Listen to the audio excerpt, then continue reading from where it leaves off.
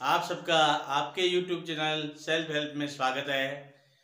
आज हम REET level maths के वीडियो पर चर्चा करेंगे। उसमें अपना टॉपिक है एक करोड़ तक की पूर्ण संख्याएँ। देखिए, संख्या पर जाने से पहले, पूर्ण संख्याएँ हैं अपना, ये इससे पहले हम जान लेते हैं कि संख्या होती क्या है। संख्या बनी कैसे है? संख्या आई कहाँ से है? देखिए, हम शुरुआत की बात करते हैं, जब अंक नहीं बने थे, तब किसी को अगर गिनना होता। जैसे आज तो हम जानते हैं कि चार कैसे लिखते हैं, जैसे कि मैंने ये चार लिख दिया, लेकिन पुराने समय में इसको किस प्रकार से लिखा जाता? जैसे एक, दो और चार। ये इस प्रकार से लिखा जाता था। अगर उनको आठ लिखना होता तो वो इस प्रकार से लिखते, एक, दो, तीन, चार और फिर ये पाँच छ सात और आठ। इस प्रकार से वो लिखते थे। लेकिन इस संख्या से वो हम ज़्यादा आगे तक की संख्याएँ नहीं लिख पाते हैं। उसके बाद आपका आया रोमन पद्धति। रोमन पद्धति में हम एक, ये दो, ये तीन, चार, पाँच छ सात, आठ, नौ और ये दस। उसके बाद, देखिए दस को यहाँ क्रॉस, यानी हम अभी वर्तमान हम इसको एक्स के रूप में मानते हैं। इस रूप में लिखा इसमें भी अपना क्या है कि दस से आगे लिखने की संख्या का कोई प्रावधान नहीं था। इसमें भी आप देख सकते हैं, दस तक लिखा, दस के बाद ग्यारह लिखना है तो इसी का रिपीट होता है, ग्यारह है, फिर ये बारह है, पंद्रह लिखना ये है। अब इसमें अगर हमें पचास लिखना है, पचास के लिए यहाँ पर एल का उपयोग करते हैं और सौ के लिए हम सी का प्रयोग करते पाँच सौ के लिए हम डी का प्रयोग और एक हज़ार के लिए हम एम का प्रयोग करते हैं। लेकिन इसमें ज़ीरो को क्या लिखते हैं, ये नहीं पता है। इसमें आगे हमारे इसलिए पास आगे लिखने की इससे और आगे बढ़ने में बहुत कठिनाई होने लगी। उसके बाद क्या है भारतीय अंक पद्धति, जिसके अंदर हमारे पास गिनती आई से एक, दो, तीन, चार, पाँच, छ, सात, आठ और ये आपके पास नौ। इसके बाद हमारे आर्यभट्ट महोदय ज़ीरो की खोज की। गणतज्ञ थे हमारे देश के, उन्होंने ज़ीरो की खोज की और हमारे यहाँ पर दस इस प्रकार से लिखा जाने लगा। ये हिंदी में इस प्रकार से दस लिखते हैं और इस ज़ीरो का हमारे जीवन में बहुत ही महत्व है। पहले कहीं पे भी ज़ीरो का आविष्कार नहीं हुआ था। उस वक्त संख्या को हम आगे नहीं लिख सकते थे। अब ज़ीरो का मतलब देखो हमारे जीवन में कितना महत्व है? अगर टेस्ट देता है बच्चा, उसमें ज़ीरो आते हैं तो उसका मतलब तो बहुत ही बुरा है। लेकिन ज़ीरो जिसके आगे चलता है, जैसे कि कोई बच्चा है ये एक इसको एक मानते इसके आगे चल रहा है ज़ीरो, इस प्रकार से, इस प्रकार, ज़ीरो ज़ीरो ज़ीरो ज़ीरो। तब तो क्या है? उसकी दिन, दुनी, रात चौगुनी प्रगति होती रहती है। लेकिन इसके पीछे की तरफ़ चलता है, एक ज़ीरो ज़ीरो, कितनी ज़ीरो तो उसका कुछ भी नहीं हो सकता है। इसलिए ज़ीरो का हमारे जीवन में बहुत महत्व है, गणितीय दृष्टि से भी और बाकी दूसरी दृष्टि से भी बहुत ही महत्व है। अब इसके बाद देखिए अपने पास क्या है, इनके बाद अपने ग्यारहवीं, बारहवीं शताब्दी के बाद अरब कंट्रीज़ के लोग हमारे भारत पर आक्रमण करने के लिए आए। तब हमारे पास तो ये वाली थी, उनके पास ये वाली गिनती थी। इन्होंने, इन दोनों ने इसका मिलाप किया और एक नई पद्धति बनाई, जिसको हम जिसको हम हिंदी अरबी अंक प्रणाली के नाम से जानते हैं। और ये जो अंक है अपने, वो वो एक, दो, तीन, चार, पाँच छ सात, आठ, नौ और दस। इस प्रकार से आगे के आगे चलते रहते हैं अपने पास। ज़ीरो से लेकर नौ और उसके बाद एक ज़ीरो का अंकों का वापस पुनरावृत्ति होने लगती है और इन्हीं को हम हिंदू, अरेबिक, अंक कहते हैं। इसी इसमें अपने पास दस अंक है। ज़ीरो, यहाँ ज़ीरो और लिख देते हैं, ज़ीरो और लिखते हैं। ये दस अंक है, इसलिए इसको दार्शनिक प्रणाली बी कहते हैं, जिसको इंग्लिश में डेसिबल सिस्टम बोलते हैं। इसी को भारतीय पद्धति में अब वर्तमान में कहते हैं। इसी अंतरराष्ट्रीय अंक पद्धति के नाम से भी जानते हैं।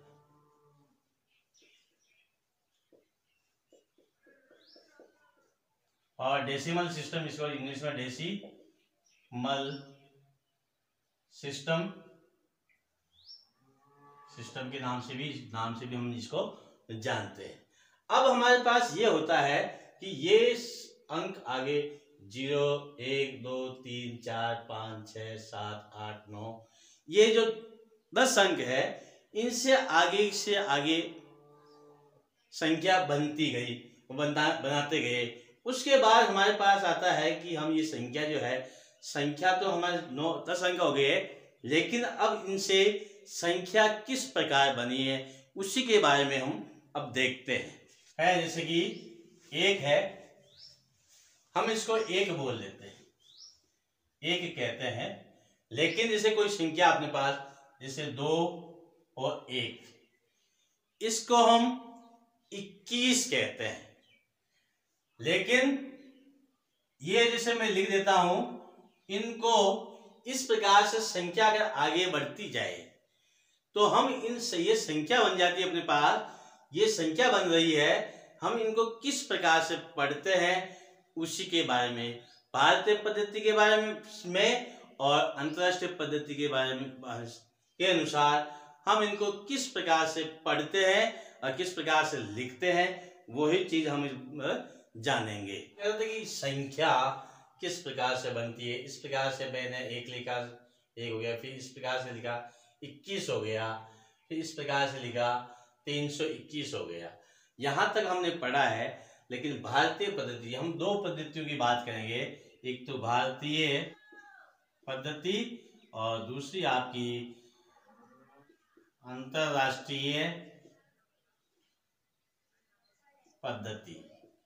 ठीक है दोस्तों? अब इसमें दोनों में हम किस प्रकार से पढ़ते हैं, वो चीज़ हमें यहाँ पे देखनी है। और किस प्रकार हम इसको अंकों में लिखते हैं, किस प्रकार से शब्दों में लिखते हैं इसी का हमें अध्ययन करना है। देखिए, हम पहले भारतीय ये इकाई है, ये दाई है, ये सैकड़ा।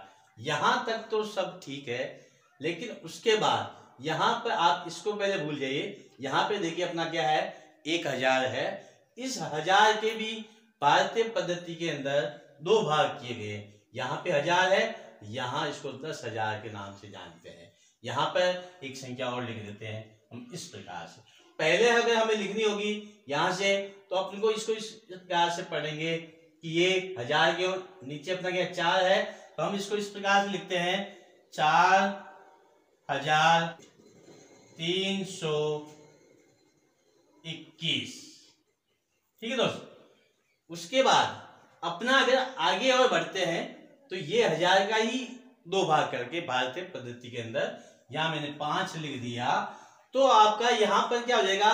इन दोनों को एक साथ मिलाकर हज़ार को एक साथ मिलाकर हम पढ़ेंगे और इसको हम बोलेंगे चौपन हज़ार तीन सौ इक्कीस। ठीक है दोस्त? अब इसके बाद आगे बढ़ते हैं। हमारे पास ये सैकड़ा के बाद दो दो के जोड़े बना के हम आगे बढ़ रहे हैं। इसको मैं अगर इस प्रकार से लिख अब थोड़ा और आगे बढ़ देते हैं। यहाँ पे एक संख्या और लिख देते हैं। इस प्रकार से अपने, जैसे करोड़ हो गया, ये आपका करोड़ करोड़ तक की संख्या की बात कर रहे हैं हम। आगे आपका करोड़ के बाद ये इकाई दाई, सैकड़ा, हज़ार, दस हज़ार, लाख, दस लाख, करोड़, दस करोड़, आपका अरब, दस अरब, खरब, दस खरब, उसके बाद दिल, पदम, असंख्य चलता रहता है। अब हम इसमें से अंक लिखते हैं तो हमारे पास क्या देखिए, इस प्रकार जैसे मैं इसको पढ़ना चाह रहा हूँ, इसको। तो अपने पास क्या हो जाएगा? भारतीय पद्धति के अंक लिखते हैं, जैसे छिया ये अंक मैंने लिखे हैं। तो इसको इस प्रकार से पढ़ेंगे हम, देखिए। इकाई, दाई, सैकड़ा, हज़ार, दस हज़ार, लाख, दस लाख। यानी कि ये जो है आपका इसको दस लाख, बोला इसका मतलब छिहत्तर लाख। ये लाख पे आया है, इसलिए छिहत्तर लाख बोलेंगे। और ये हज़ार के ऊपर है, इसको चौपन हज़ार तीन सौ इक्कीस पढ़ते हैं। इस प्रकार से? ये आपका अंकों में लिखा हुआ है, ये आपका शब्दों में लिखा हुआ है। अगर यही चीज़ अगर बीच में से गायब हो जाती, जैसे ये आपका बीच में से गायब कर दिया, या यहाँ पे नहीं लिखा है, और यहाँ केवल ज़ीरो लिखा हुआ है। तब आपको क्या करना है? ये छिहत्तर लाख तो लिखा ही है। फिर इकाई, दाई सैकड़ा हज़ार, और दस हज़ार पे ज़ीरो है। तो आपको चौवन की जगह क्या लिखेंगे? केवल चार। ये छिहत्तर दिशा विषाएगा छिहत्तर, चार हज़ार तीन सौ इक्कीस। ठीक है दोस्त, ये अपने पास इस प्रकार से भारतीय पद्धति के अंदर इनको पढ़ा जाता है। अब हम इसी को पढ़ना चाहते हैं अंतरराष्ट्रीय पद्धति के अंदर। तो हम किस प्रकार से पढ़ते हैं, उसी के बारे में आप इससे पहले हमारे चैनल पर नए हैं तो हमारे चैनल को सब्सक्राइब ज़रूर करें, नोटिफिकेशन बेल दबा दें ताकि हर एक वीडियो का नोटिफिकेशन आप तक पहुँचता रहे। अब हम बात करते हैं अंतरराष्ट्रीय पद्धति की। देखिए, अपना जो अंतरराष्ट्रीय पद्धति की बारे बात कर रहे हैं उससे पहले भारतीय पद्धति में हम अंकों में किस प्रकार से देखते हैं? यहाँ पर अपने पास क्या देखिए तीन इकाई, दाई सैकड़ा के बाद कोमा लगता है। दो के बाद फिर कोमा, दो के बाद फिर कोमा। यानी दो दो के जोड़े के बाद अपने कोमा लगता है। फिर हम इसको पढ़ते हैं, इकाई, दाई, सैकड़ा, हज़ार, दस हज़ार, लाख, दस लाख, करोड़, दस करोड़। इसको हम इस प्रकार से लिख लेते हैं, जिसे अठानवे करोड़ तिहत्तर लाख चौपन हज़ार तीन इक्कीस। ठीक है? अब हम बात करेंगे अंतरराष्ट्रीय पद्धति की। अंतरराष्ट्रीय पद्धति के अंदर हम किस प्रकार से पढ़ते हैं? देखिए, इसमें पढ़ने के लिए हमारे पास ये इकाई, दाई, सैकड़ा, तक तक तो ठीक है। ये तीन सौ इक्कीस, इसमें भी तीन सौ इक्कीस ही पढ़ते हैं। ठीक है? उसके बाद चलते हैं। हमारे भारतीय पद्धति में हज़ार के दो भाग कर रखे हैं। लेकिन उन्होंने अंतरराष्ट्रीय पद्धति के अंदर इसके तीन भाग कर अब हम इस तीन भाग को किस प्रकार से पढ़ते हैं, वो एक एक करके देखते हैं अपन जैसे। ये आपका चार, फिर आपका ये, फिर आपका इन तीनों में क्या फ़र्क है? इनको किस प्रकार से पढ़ा जाता है अंतरराष्ट्रीय पद्धति के अंदर, वो हम देखते हैं। जैसे मैंने ये इकाई, दाई से हज़ार, अपने यहाँ की पद्धति में है, हज़ार, दस हज़ार। लेकिन वहाँ पे है, वो इसको किस प्रकार से पढ़ेंगे? अपना यहाँ पे क्या, ये हज़ार का ही कॉलम है, लेकिन अपने यहाँ लाख है, उनके यहाँ हज़ार का कॉलम है। हम इसको इस प्रकार से चार हज़ार तीन सौ इक्कीस। अब हम इसको पढ़ते हैं। देखिए, हमारे भारतीय पद्धति में दो अंक के बाद कोमा लगाते हैं। यहाँ पे भी कोमा यहाँ लगाया। आज इसको हम पढ़ेंगे इकाई, दाई, सैकड़ा, हज़ार, दस हज़ार। यहाँ तक तो ठीक है। यहाँ पे भी चौवन हज़ार तीन सौ इस ठीक है? अब इसके बाद अपना कॉलम तीसरा है, जिसमें तीन तीन की संख्या का कॉलम बनाते हैं। ये पूरा आपका हज़ार का ही कॉलम है, लेकिन भारतीय पद्धति में ये छह अगर देखते हैं तो लाख पे जाता है, यहाँ पर हज़ार ही है। इसको हम किस प्रकार से पढ़ते हैं? इसको हम पढ़ते हैं, हज़ार का ही कॉलम है, इसलिए इसको लिखा, हमने लिखा छह सौ चौपन हज़ार तीन सौ इक्कीस। ठीक है? अब हम इससे आगे की बात करते हैं, मिलियन की बात करते हैं। भारतीय पद्धति के अंदर, अब हम यहाँ तक की बात करते हैं, जैसे यहाँ। ये आपका सात। अब देखिए अपना, अगर हम भारतीय पद्धति की बात करेंगे तो अपना ये इकाई, दाई, सैकड़ा, हज़ार, दस हज़ार, लाख, दस लाख, यानी छिहत्तर लाख, चौपन हज़ार तीन सौ इक्कीस। लेकिन हम अंतरराष्ट्रीय पद्धति में इसको पढ़ते हैं, इकाई दाई सैकड़ा था तो ठीक है, फिर तीन कौमा लगा देते तीन अंक के बाद फिर कौमा लगा देते हैं कौमा। इसके बाद, हज़ार के बाद इसमें आता है आपका मिलियन क्या आएगा? दोस्तों, अपना मिलियन तो यहाँ पे मिलियन भी यहाँ पे तीन भागों में बटा हुआ है। तो अपना यहाँ पे क्या? ये सात है, ये मिलियन वाले कॉलम में है। हम यहाँ पे लिखेंगे सात मिलियन छ सौ चौपन हज़ार तीन सौ इक्कीस। ठीक है दोस्तों? अब उससे थोड़ा और आगे बढ़ते हैं। तो अपने पास देखिए ये तीन तीन अंक का अंतरराष्ट्रीय पद्धति है। इसलिए हम यहाँ पे तीन तीन अंकों का जोड़ा इधर कम है। कोई बात नहीं या ज़ीरो लिख दिए या नहीं है तो उसको छोड़ दीजिए आप। तो यहाँ पर इसको देखिए हम पढ़ते हैं। इकाई, दाई, सैकड़ा, हज़ार, दस हज़ार, लाख। भारत के हिसाब से दस लाख हो गया, करोड़ दस करोड़ हो गया भारत के हिसाब से। लेकिन यहाँ पर ये मिलियन के अंदर ही है। तो इसको हम पढ़ते हैं। ये मिलियन वाला भाग है। हज़ार के, ये हज़ार वाला है, ये इकाई, दाई, सैकड़ा, ये हज़ार है। हज़ार के बाद मिलियन है, यानी दस लाख का एक मिलियन होता है। ये आपका सत्यासी मिलियन छ सौ चौपन हज़ार तीन सौ इक्कीस। ठीक है दोस्तों? अब उस थोड़ा और आगे चलते हैं। इसमें बात करते हैं अपना यहाँ। अब इसमें देखिए, इसमें अपना तीन तीन के जोड़े बने हैं। अंतरराष्ट्रीय पद्धति में तीन तीन के बनते हैं। तो यहाँ पे हम इसको पढ़ते हैं। यही तरीका, इकाई, दाई सैकड़ा ये हज़ार और ये मिलियन का है। तो हम यहाँ पर इसको पढ़ते हैं नौ सौ सतासी मिलियन और छह सौ चौपन हज़ार और तीन सौ इक्कीस। ठीक है ये इस प्रकार से आपका भारतीय पद्धति और अंतरराष्ट्रीय पद्धति में इनको पढ़ा जाता। है ये तो था आपका बेसिक कंसेप्ट अब हम कुछ इस पे ऊपर सवाल कर लेते हैं। में सवाल आते हैं, उसकी हम चर्चा कर लेते हैं। देखिए अपना, जैसे कि शब्दों में लिखिए। ठीक है मैं यहाँ लिख देता हूँ इसे।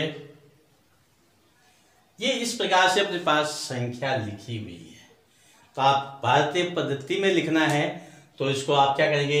ये इकाई है, ध्यान से सुनिएगा। ये इकाई है, ये दाई है, ये सैकड़ा है, ये हज़ार, और दस हज़ार के ऊपर आपका कुछ भी नहीं है। ज़ीरो है, इसको नहीं बोल, बोलना तो है, लेकिन लिखना कुछ भी नहीं। फिर आपके पास दस हज़ार के बाद लाख इस प्रकार इसको हम लिखते हैं, ये इकाई, दाई सैकड़ा उसके बाद कोमा लगा दिया।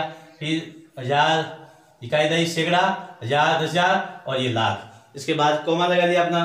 हम इसको लिखते हैं पाँच लाख आठ हज़ार तीन सौ एक। देखिए, तीन सौ एक बीच में दाई का अंक नहीं है, उसको नहीं बोलते। दस हज़ार का अंक भी नहीं है, उसको भी हम नहीं बोलते हैं। देखिए, अपना जो सवाल है कि शब्दों में लिखना है। ये अपन क्या करते हैं? ये इकाई, दाई, सैकड़ा, फिर कौमा लगाया, फिर दो सिंगल की कौमा लगाया, फिर कौमा लगाया। अपनी भारतीय पद्धति में इसलिए दो दो अंक के बाद कोमा लगाते जाइए। अब इनको गिनते जाइए, इकाई, दाई, सैकड़ा, फिर हज़ार, दस हज़ार, लाख, दस लाख, करोड़। यानी करोड़ के ऊपर नौ है तो आप लिखेंगे नौ करोड़।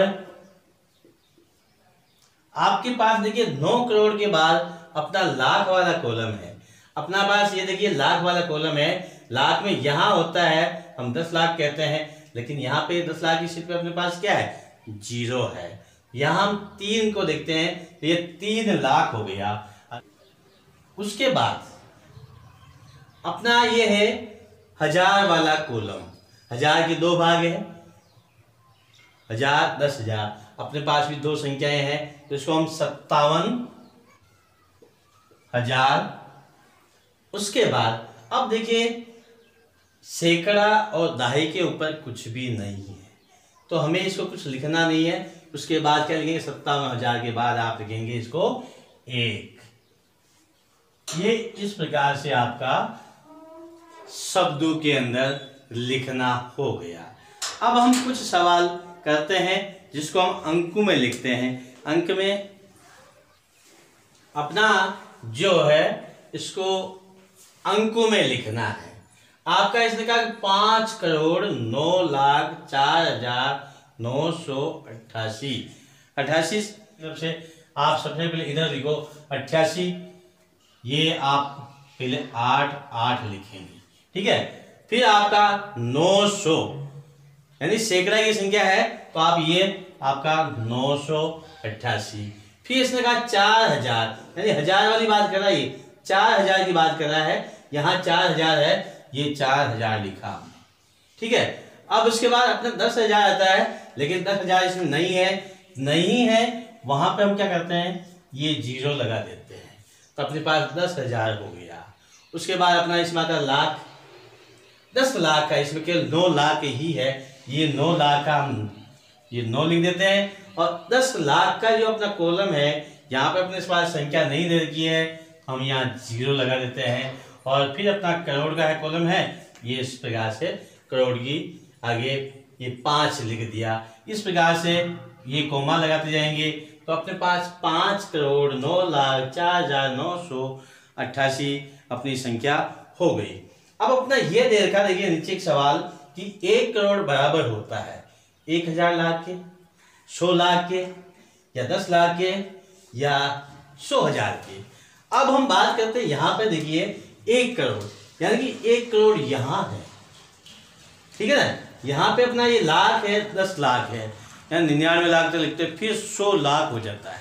जैसे ही सौ लाख होता है, यहाँ एक करोड़ हो जाता है। ठीक है ना? तो अपना जो आंसर होगा, वो क्या होगा? ये वाला सही होगा। यानी कि सौ लाख के बराबर होता है। एक करोड़ जो है,